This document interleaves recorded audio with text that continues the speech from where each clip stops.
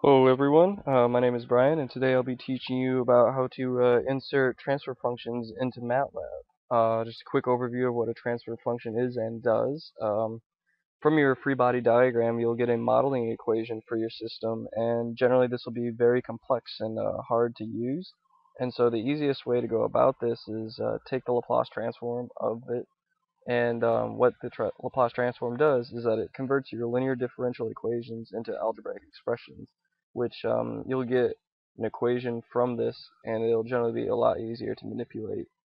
And uh, what your what your uh, transfer function is is the output over the input of the system.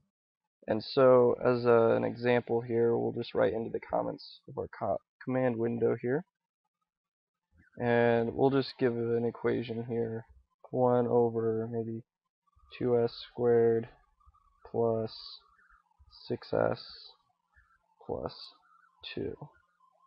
Now, um, to input this into MATLAB, there's actually a function, and um, what you need to do is give your function a name, and for brevity, we'll just call it name equals tf of what you're going to have is your numerator and your denominator. Uh, I'm just going to make this a, a comment just so we have it to reference. And since MATLAB is array based, um, what it's looking for in your numerator and denominator is actually the coefficients of each term. And so for our numerator, uh, our values are just 1. As you can see there, it's just, um, there's only a 1 in the numerator. Uh, the easiest way to go about for the second part is to give each of, of your coefficients in the denominator a name. So we'll call it A is equal to 2. Um, B would be your 6, as we're going to call it here, as that is your second term. And C, our final term, which is S naught, is zero, is um, 2. With a semicolon, so we don't get a repeat.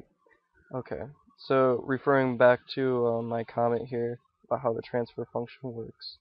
Um, so we give it a name, which uh, we'll just call it name again, and use the function tf, which is for transfer function.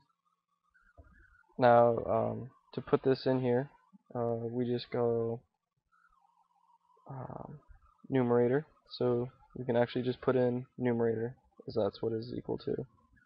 And then we'll put in an array here of A, B, and C which corresponds to our um, coefficients that we have for our function here.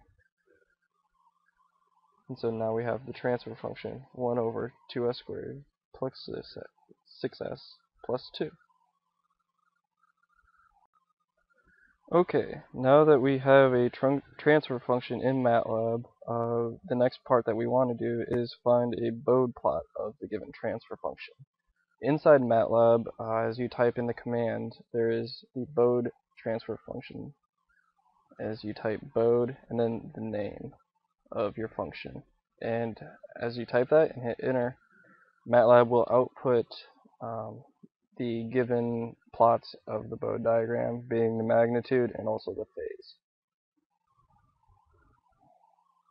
And as you can see, now that it is given this in a figure, uh, you are able to find out um, the values that you require for whatever you need out of the Bode plot.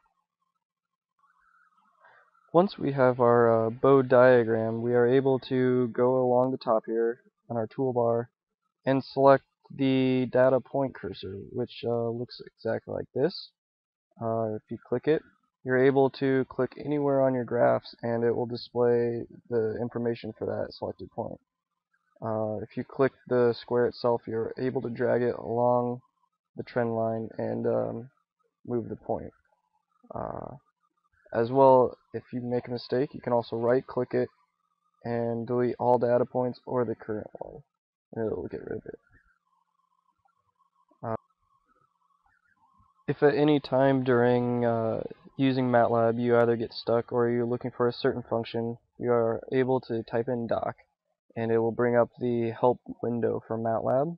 Uh, it is pretty easy to navigate. As long as you search within there, you can search for, let's say, transfer function. Hit enter, and it will come up with uh, anything that you need to know about transfer functions and how they're used inside of MATLAB.